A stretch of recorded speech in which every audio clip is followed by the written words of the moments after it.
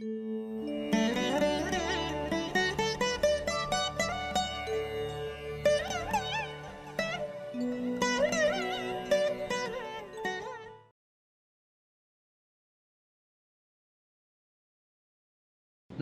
அனைவருக்கும் வணக்கம்.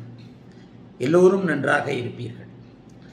இன்றைக்கு அந்த தனி மனித அதாவது உதாரண ஜாதகங்களுடன் விளக்கி ரொம்ப நாளாக போடலை அப்படின்றதுனால இன்றைக்கு பிரீமியம் வீடியோ நேயர்களுக்கு உதாரண ஜாதகங்களுடன் ஒருவரை எப்படி கணிப்பது என்கின்ற ஒரு அமைப்பு.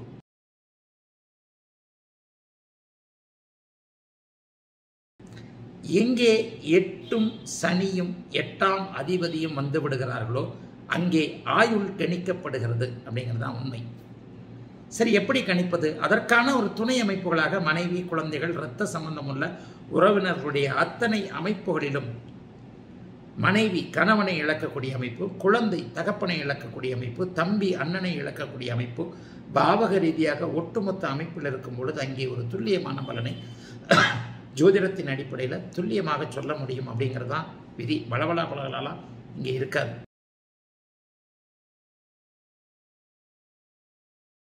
துலாம் லக்னம் ஆறில் கேது ஒன்பதில் சந்திரன் செவ்வாய் குரு.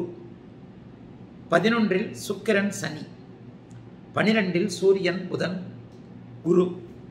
பிறக்கும்போது இவருடைய தசை இருப்பு அமைப்பு மிருகசீரிடம் நட்சத்திரத்தில் பிறந்திருப்பதால் செவ்வாய் ஒரு வருடம் எட்டு மாதம் பதினைந்து நாள்.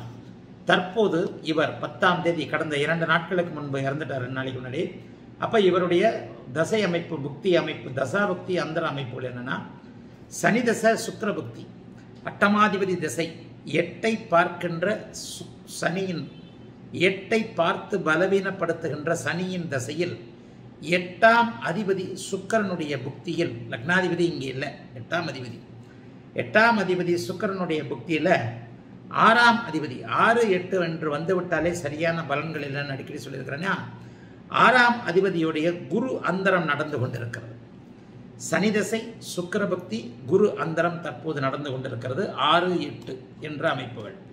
சரி இங்கே ஜாதகப்படி இவருக்கு நாற்பது நாற்பத்தி நான்கு வயதுகளில் இந்த நடுத்தர மத்தியம அற்பாயுள் என்று சொல்லப்படக்கூடிய அமைப்பு ஏன் எப்படி வந்தது?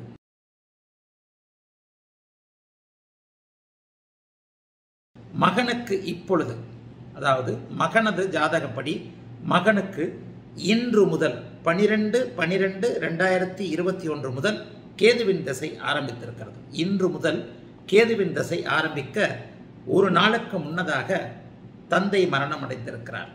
என்னுடைய சுபத்துவ பாபத்துவ விதி இங்கே எத்தனை அற்புதமாக பொருந்தி வருகிறது என்பதை மட்டும் பார்த்தால் போதும். இன்றைக்கு காலை நான் கேதுவை பற்றிய லைவ் பேசியிருக்கிறேன். இன்னைக்கு காலைல பேசினேன் இல்லையா?